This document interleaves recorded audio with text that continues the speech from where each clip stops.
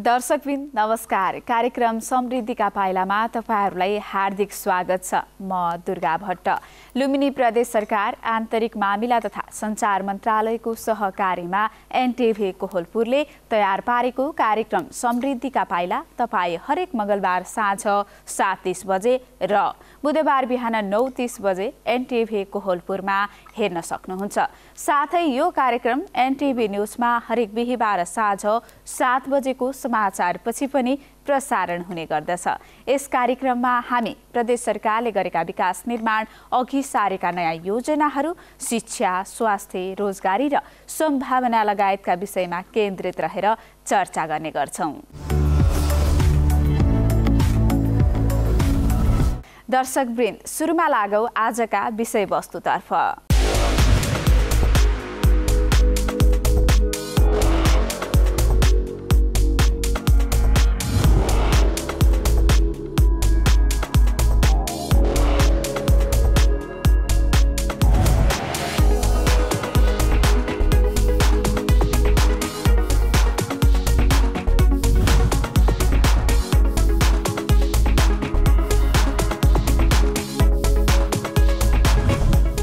लुम्बिनी प्रदेश सरकारले राजधानी कार्यान्वयन र व्यवस्थापनको कामलाई प्राथमिकतामा राखेको छ। मुख्यमन्त्री कुलप्रसाद केसीले नै राजधानी व्यवस्थापन र कार्यान्वयनलाई चासोका साथ लिनुभएको छ। राप्ती प्राविधिक शिक्षालयलाई सार्नको लागि प्रदेश सरकारले योजना बनाएको छ। हाम्रा दाङ संवाददाता दशरथ घिमिरेले पठाएको हेरौ यो रिपोर्ट। लुम्बिनी प्रदेश सरकारले राजधानी कार्यान्वयनको विषय प्राथमिकतामा राखेको छ। मुख्यमन्त्री कुलप्रसाद केसीले फागुन बाह्रभित्र राप्ती प्राविधिक शिक्षाले सार्न डेडलाइन नै तोकेपछि राजधानी कार्यान्वयनको विषयले प्राथमिकता पाएको हो। शिक्षाले सार्न ढिलाइ भएको पाइएपछि मुख्यमन्त्री केसीले नै चासो दिनुभएको छ। सरस्वती माध्यमिक विद्यालयमा शिक्षाले आउने र सो विद्यालयलाई अन्यत्र सारेर व्यवस्थापन गर्न थालिएको हो। आधारभूत विद्यालयको संरचना प्रयोगमा ल्याउने नपुगेको संरचना थप गर्ने र त्यही पठन पाठन गर्ने योजना अनुसार पूर्वाधार बनाउने काम अघि बढेको छ। राजधानी व्यवस्थापनको लागि विद्यालय सार्नका लागि संरचना बनाउने काम अन्तिम चरणमा पुगेको सरस्वती माध्यमिक विद्यालय गोबडियाका विद्यालय व्यवस्थापन समितिका अध्यक्ष एम नारायण पोखरेलले बताउनुभयो। अब यता यहाँहरूले देख्नुभयो यो चाहिँ सरस्वती मावि विद्यानगर यो स्थानान्तरण हुने स्थल हो यो। हामीले अस्थायी संरचनाको काम करिब करिब अब यहाँ सम्पन्न हुन लागेको छ। खास गरी राजधानीलाई कार्यान्वयन गर्नको लागि अब हामी यो विद्यालयले पनि केही न केही योगदान गर्नुपर्छ भनेर के अरे राप्ती गाउँपालिकामा रहेको राप्ती प्राविधिक शिक्षालयलाई यो श्री सरस्वती मावि गोबडियामा स्थानान्तरण गर्ने र त्यो सरस्वती मावि भएको भवन त्यसपछि त्यो स्कुल परिसर त्यसलाई चाहिँ हामीले यो चाहिँ अस्थायी संरचना जुन बनाएको छ यतातिर स्थानान्तरण गर्ने त्यो कार्य चाहिँ अगाडि बढिराखेको छ र करिब करिब अन्तिम चरणमा यो काम अगाडि बढेको छ र यहाँ केही संरचनाका केही कामहरू अब अधुरा छन्। यदि पालिकाले इस्टिमेट तयार पारेर हामीलाई दिएको खण्डमा करिब अब बिस दिनमा बिस पच्चिस दिनमा हामीले यो अस्थायी संरचनाको सम्पूर्ण कामहरू सम्पन्न गर्छौँ र सरस्वती मावि विद्यानगरलाई यतातिर यो चाहिँ अहिले अस्थायी संरचना बनिरहेको स्थानमा हामीले स्थानान्तरण गर्छौँ। हामी धेरै नै उत्साहित छौँ किनभने अब यो खास गरी बङ्गालीवासीको एउटा गौरवको कुरा पनि हो। अब लामो चाहिँ मिहिनेत अथक मिहिनेत पछाडि अब यो दाङ अथवा देउखुरीमा यो लुम्बिनी प्रदेशको राजधानी आएको छ। र हामी यो राजधानीलाई स्थापित गर्नको लागि यो हाम्रो स्कुलको तर्फबाट जसरी हामीले योगदान गर्ने एउटा सुनौलो अवसर प्राप्त गरेका छौँ। यसलाई हामीले यो अवसरलाई कुनै पनि हातले छोड्न हुँदैन भनेर हामी सबै अब यहाँको सर्वदलीय सर्वपक्षीय भेलाबाट हामीले यो सरस्वती मावि विद्यानगरको जमिन तथा चाहिँ भौतिक संरचना अब राप्ती प्राविधिक शिक्षालयलाई दिने भनेर हामीले निर्णय गरेका छौँ। जो राप्ती यताको गडा गाउँपालिकाको क्षेत्रमा राप्ती प्राविधिक शिक्षालय आउने र समग्रमा राजधानी अब यो देउखरीमा आउने कुराले हामी उत्साहित नै छौँ। लुम्बिनी प्रदेश सरकारले सरस्वती माध्यमिक विद्यालयलाई अस्थायी संरचना बनाउन एक करोड साठी लाख र गडवा गाउँपालिकाले एक करोड बजेट विनियोजन गरेका थिए। ठेक्का मार्फत काम अघि बढाइएको छ। अब विद्यालय भवनमा जिप्सन र शौचालय र त्यसै गरी वायरिङको काम गर्न बाँकी छ।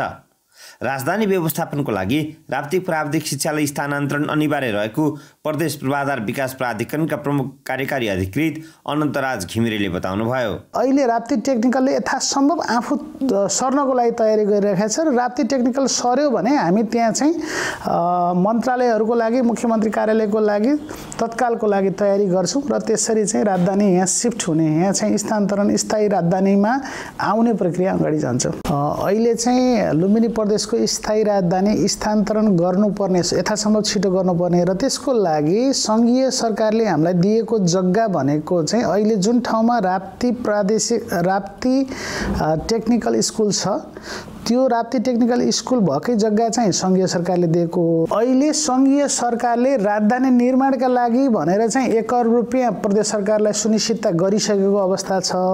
र त्यो एक करोड रुपियाँ चाहिँ सहरी विकास मन्त्रालय अन्तर्गत खर्च गर्ने भनेर सहरी विकास मन्त्रालयलाई प्रदेश सरकारले चाहिँ अख्तियारी दिइसक्यो। र अहिले सहरी विकास मन्त्रालय र प्रदेश पूर्वाधार विकास प्राधिकरण मिलेर त्यसको चाहिँ हामीले इपिसी मोडलमा लगभग लगभग दुई अरबदेखि पाँच अरबसम्मको राजधानीको मुख्य प्रशासनिक भवनदेखि लिएर मन्त्रालयहरू र सभा सभाको कार्यालय यो निर्माणको लागि चाहिँ इपिसी मोडलबाट हामीले टेन्डर प्रक्रियामा जानको लागि तयारी गरिरहेका छौँ। लुम्बिनी प्रदेश सरकारले राजधानीको पूर्वाधार बनाउन एक अर्ब बजेट केन्द्र सरकारबाट सुनिश्चित गरेको छ। यो बजेटबाट प्रशासनिक भवन बनाउन टेन्डर आह्वान गर्ने तयारी गरिएको छ। पर्यटन ग्रामीण तथा सहरी विकास मन्त्रालयले टेन्डर आह्वान गर्ने काम अघि बढाएको बताइएको छ। सरस्वती माध्यमिक विद्यालयमा शिक्षालय आउने र सो विद्यालयलाई अन्यन्त्र सारेर व्यवस्थापन गर्न थालिएको हो। आधारभूत विद्यालयको संरचना प्रयोगमा ल्याउने नपुगेको संरचना थप गर्ने र त्यही पठन पाठन गर्ने योजना अनुसार पूर्वाधार बनाउने काम अघि बढेको छ।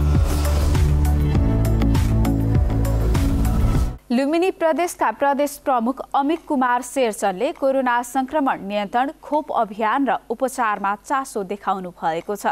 पछिल्लो समय कोरोनाको नयाँ भेरिएन्ट तीव्र गतिमा फैलिएपछि सरकारले नियन्त्रणमा गरेका प्रयासका बारेमा उहाँले जानकारी लिनुभएको हो। रूपन्देही संवाददाता केशव भण्डारीले पठाएको हेरौँ यो सामग्री। कोरोना रोकथामका उपायहरूबारे भइरहेको काममा मुख्यमन्त्री कुलप्रसाद केसी सहित सभामुख प्रदेशका मन्त्रीहरू मन्त्रालयका सचिवहरू स्वास्थ्य मन्त्रालयका सचिव सुरक्षा निकायका प्रमुख तथा प्रमुख जिल्ला अधिकारीलाई आफ्नै कार्यालय बुटुबलमा बोलाएर प्रदेश प्रमुख शेरचनले जानकारी लिनुभएको हो। प्रदेश प्रमुख शेरचनले कोरोना महामारीको नियन्त्रणका लागि लुम्बिनी प्रदेशले अभियान नै सञ्चालन गरेर कार्य गर्न पनि सुझाव दिनुभयो। सरकारको पहिलो दायित्व नागरिकको जीवन रक्षा भएको बताउँदै प्रमुख शेरचनले विकास निर्माणका कामहरू स्थगित गरेर भए पनि नागरिकको जीवन सुरक्षा गर्नको लागि ध्यान दिन आग्रह गर्नुभयो। सुरक्षामा सबैभन्दा बढी ध्यान दिनुपर्छ भन्ने हाम्रो संवैधानिक उद्देश्य लगायत हामी सबैको एउटै चाहना छ।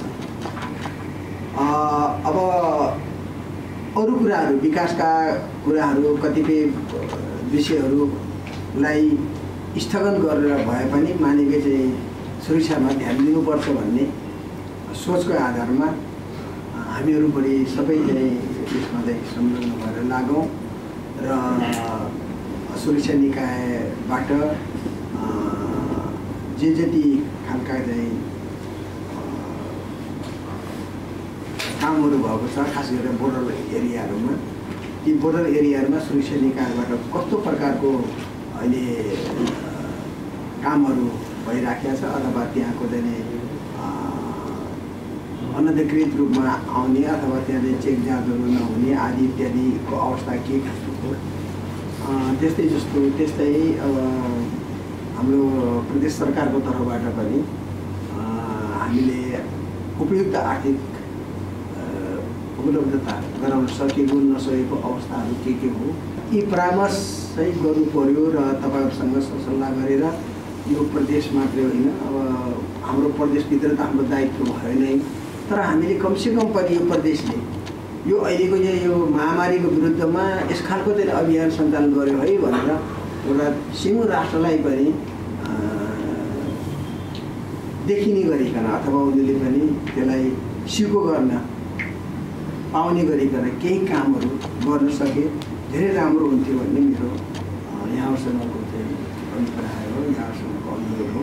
कार्यक्रममा मुख्यमन्त्री कुलप्रसाद केसीले कोरोना संक्रमण नियन्त्रण र उपचारको लागि प्रदेशका मन्त्रीहरूको अनुगमन समिति बनाएर प्रभावकारी उपचार भए नभएको बारेमा अनुगमनमा जोड दिएको बताउनुभयो। कसरी होल्डिङ सेन्टरलाई पछि अपरेसन गर्ने भन्ने थप कार्यविधि बनाउँदै जाउँला परिमार्जन गर्दै जाउँला।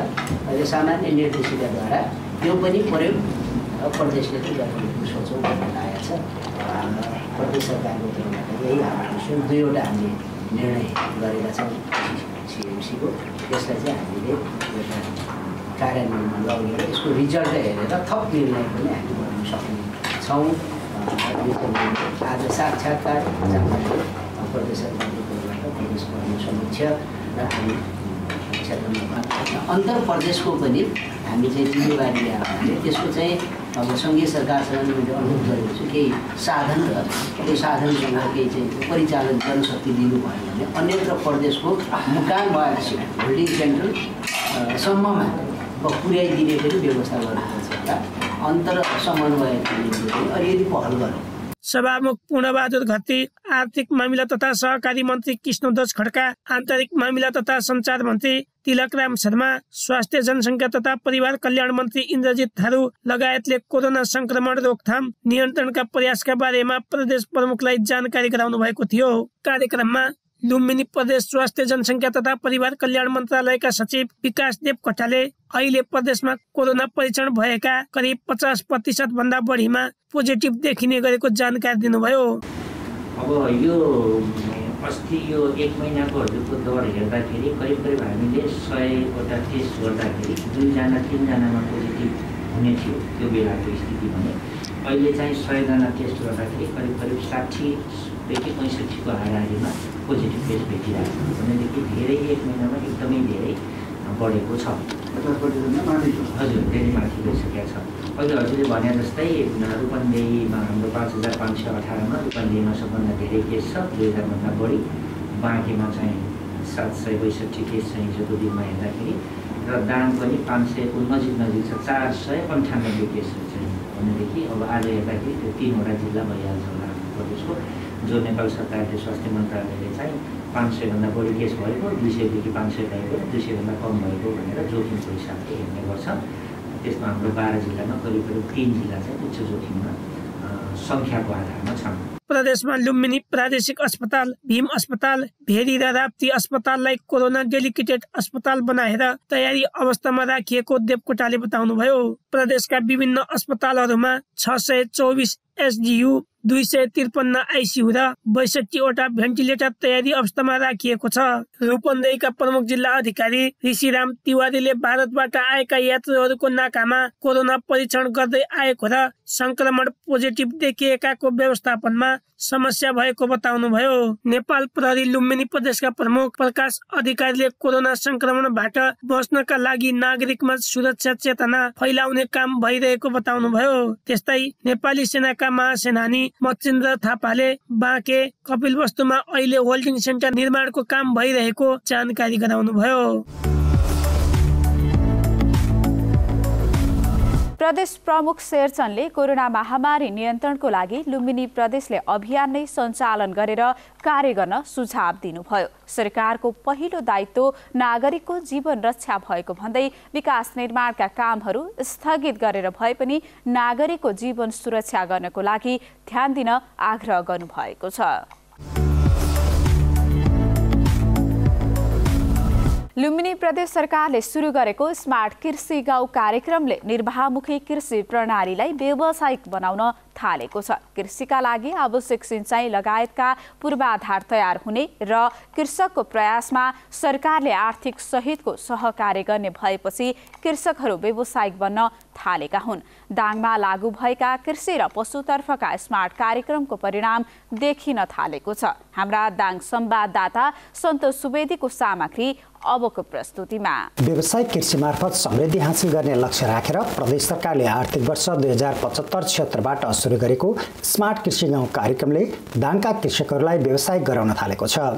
तीन वर्षअघि सुरु भएको यो कार्यक्रम अहिले जिल्लाका नौवटा गाउँमा सञ्चालन भइरहेको छ। दाङमा कृषि ज्ञान केन्द्र मार्फत तुलसीपुर उपमहानगरपालिका शान्तिनगर गाउँपालिका खोराई उपमहानगरपालिका र बङ्गलाचुले गाउँपालिकामा तरकारी प्याज आलु कागती खेतीका कार्यक्रम सञ्चालन भइरहेका छन्। यस्तै भेटेनरी अस्पताल तथा पशु सेवा ज्ञान केन्द्र मार्फत राप्ती राजपुर दङ्गीशरण गाउँपालिका र तुलसीपुर उपमहानगरपालिकामा मासु तथा दुध उत्पादनका कार्यक्रम भइरहेका छन्।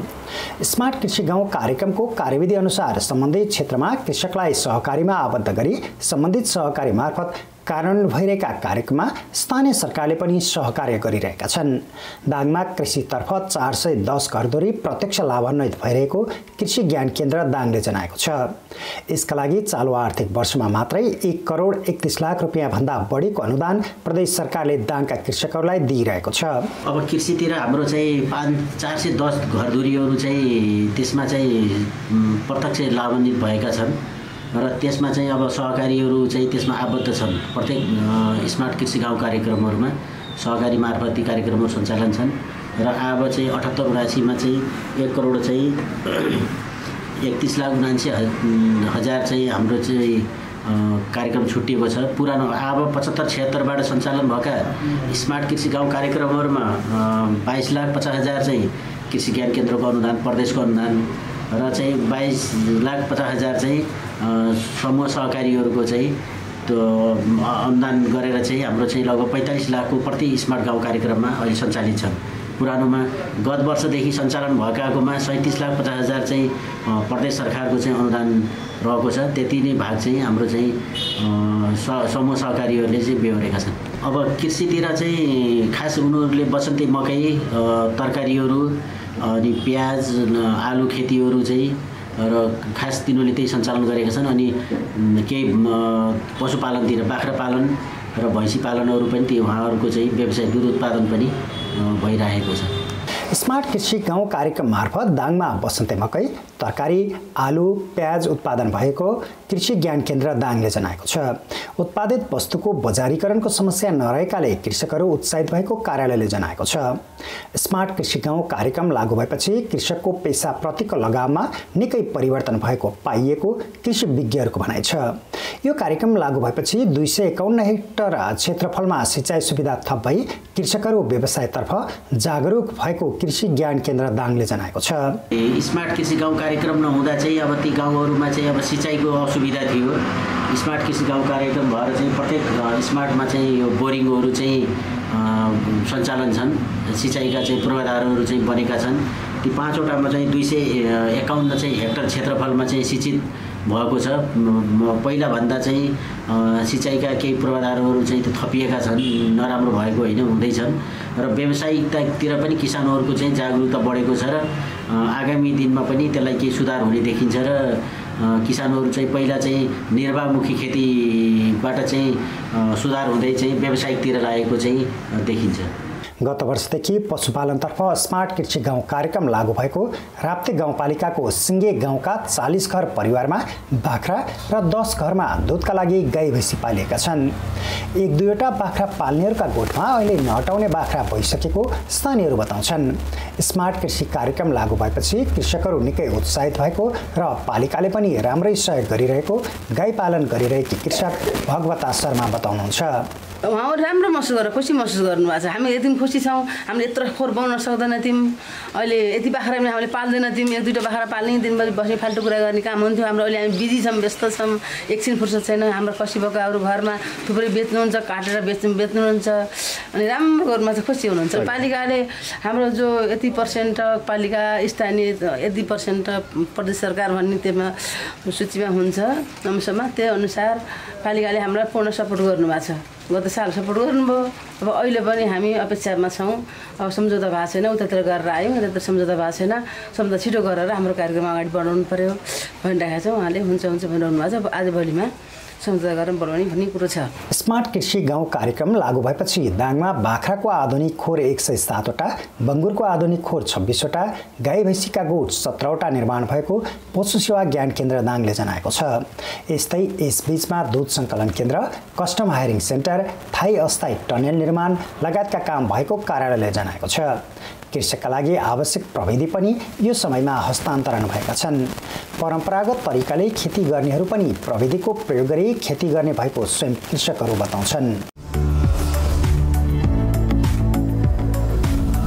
स्मार्ट कृषि गाउँ कार्यक्रम मार्फत दाङमा बसन्ते मकै तरकारी आलु प्याज उत्पादन भइरहेको कृषि ज्ञान केन्द्र दाङले जनाएको छ। उत्पादित वस्तुको बजारीकरणको समस्या नरहेकाले कृषकहरू उत्साहित भएको कार्यालयले जनाएको छ। यो कार्यक्रम लागू भएपछि दुई सय एकाउन्न हेक्टर क्षेत्रफलमा सिंचाइ सुविधा थप भई कृषकहरू व्यवसायतर्फ जागरुक भएको कृषि ज्ञान केन्द्र दाङको भनाइ छ।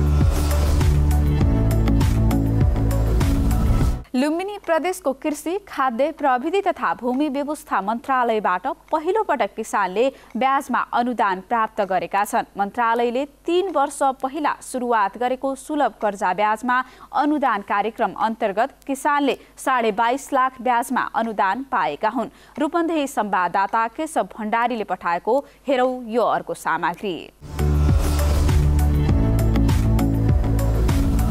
कृषि मन्त्रालय मातहतको कृषि ज्ञान केन्द्र भेटनरी अस्पताल तथा पशु सेवा विज्ञ केन्द्र र एकीकृत कार्यालयबाट किसानले ब्याज अनुदानको लागि आवेदन दिएका थिए। दस लाख रुपियाँ भन्दा माथि छब्बिस लाख रुपियाँसम्मको कार्ययोजना निर्माण गरी किसानले प्रदेशको सम्झौता गरेको कृषि विकास बैङ्क मार्फत कर्जा लिएका थिए। सोही कर्जाको किसानले ब्याज बापतको रकम पाएका हुन्। प्रदेश सरकारबाट प्राप्त गर्ने कार्यविधि अनुसार बाइस लाख उनासी हजार चार सय छत्तिस रुपियाँ ब्याज बापतको रकम फिर्ता अर्थात् अनुदान प्राप्त गरेको मन्त्रालयका योजना तथा अनुगमन महाशाखा वरिष्ठ योजना अधिकृत हरिप्रसाद पण्डितले जानकारी दिनुभयो। कर्जा सहजीकरण तथा ब्याजमा अनुदान कार्यक्रम सञ्चालन विधि दुई हजार छिहत्तर। जुन यो लुम्बिनी प्रदेशमा चाहिँ क्याबिनेटबाट पा पास भएको कार्यविधि हो। र यही कार्यविधिमा रहेर चाहिँ हामीले प्रदेशमा रहेका किसानहरू जति पनि कृषकहरू कृषक उद्यमीहरू जति सहकारीहरू छन् तिनीहरूलाई चाहिँ सबै किसानहरूलाई चाहिँ हामीले अनुदान दिन नसक्ने भएकोलाई चाहिँ सबै ब्याजमा चाहिँ सुलभ कर्जा चाहिँ सहजीकरण गरेर उनीहरूको व्यवसायलाई अलिकति व्यवसायलाई टेवा पुगोस् भन्ने हिसाबको कुराले चाहिँ हामीले पहिलादेखि नै दुई हजार छिहत्तर साल एघार महिना पाँच गते चाहिँ सूचना निकालिरहेको थियौँ यो हाम्रो लुम्बिनी प्रदेशका बाह्रै जिल्लामा। र सूचना निकालिसकेपछि हामीले जुनसुकै ब्याङ्कबाट चाहिँ क वर्गको जुनसुकै ब्याङ्कबाट पनि उहाँहरूले चाहिँ उहाँहरूले चाहिँ आफ्नो कर्जा चाहिँ लिन सक्ने व्यवस्था मिलाइएको थिए मिलाइदिएको थियो त्यही अनुसार चाहिँ हाम्रो प्रदेशको हिसाबमा चाहिँ हाम्रो ज्ञान केन्द्रले त्यसलाई सहजीकरण गरेको छ भने हरेक जिल्लामा चाहिँ हाम्रो सुलभ कर्जा सहजीकरण भनेर हामीले एक एकजना चाहिँ बाह्रवटै जिल्लामा पनि नियुक्ति गऱ्यौँ र उहाँहरूले चाहिँ लोन कसरी लिने उनको यो व्यवसाय योजना बनाइदिने कामहरूमा पनि सहयोग गर्नुभयो। र त्यही हिसाबले कुरा गरिसकेपछि अहिले र त्यसमा चाहिँ हाम्रो अलिकति सङ्घीय सरकारको सुलभ कर्जाको भन्दा हाम्रो सुलभ कर्जामा चाहिँ अलिकति बढी। त्यो विभिन्न ऱ्याङ्क चाहिँ हाम्रो एक करोडसम्मको मात्रै छ र त्यसमा चाहिँ साना किसानहरूलाई चाहिँ हामीले पहिलो वर्षमा चाहिँ दस पर्सेन्टसम्म चाहिँ हाम्रो यो यो स्किमबाट चाहिँ अब छ भने दोस्रो वर्षमा चाहिँ आठ पर्सेन्ट र तेस्रो वर्षमा पाँच पर्सेन्ट छ भने दसदेखि तिस लाखसम्मको जुन कर्जा लिने किसानहरूको लागि चाहिँ पहिलो वर्ष चाहिँ आठ पर्सेन्ट दोस्रो वर्ष चाहिँ छ पर्सेन्ट र तेस्रो वर्ष पाँच पर्सेन्ट। होइन अलिक ठुला किसानहरू जुन चाहिँ तिस लाखभन्दा एक करोडभन्दा बढी छन् तिनीहरूलाई चाहिँ छ पर्सेन्ट। पहिलो वर्ष र दोस्रो र तेस्रो वर्ष चाहिँ पाँच पाँच पर्सेन्ट चाहिँ ब्याजमा चाहिँ अनुदान दिने त्यही अनुसारको कुरो थियो। उहाँका अनुसार गत असार महिनासम्ममा कार्यविधि अनुसार कार्ययोजना प्रस्ताव पेश गरी कर्जा लिएका किसानहरूलाई उनीहरूले पाउने ब्याजको रकम कृषि विकास बैंक मार्फत प्रदान गरिएको हो। कृषि मन्त्रालयका प्रवक्ता तथा पशु पंक्षी महाशाखाका प्रमुख वरिष्ठ पशु विकास अधिकृत तुलसीराम भण्डारीले पहिलो पटक किसानलाई ब्याजमा अनुदान प्रदान गरिएको र आगामी दिनमा निरन्तर किसानले अनुदान पाउने जानकारी दिनुभयो। यो सुलभ कर्जालाई जिल्ला स्तरमा सहजीकरण गर्नको लागि सुलभ कर्जा सहजकर्ताको पनि व्यवस्था गरेका छौँ।